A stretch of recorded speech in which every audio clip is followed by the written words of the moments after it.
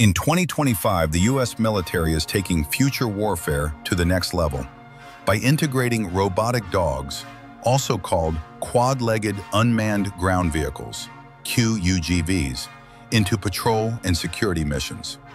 These robotic dogs have been deployed at bases like Tyndall Air Force Base to boost perimeter security and surveillance, giving troops extra sets of sensor eyes without putting humans at risk. Equipped with 360-degree cameras, multiple sensors, and rugged mobility, these semi-autonomous machines can climb over rough terrain and patrol remote areas while defenders focus on other tasks. Their tech allows base defenders to see farther and react faster to threats at night or in challenging conditions, expanding situational awareness for U.S. forces.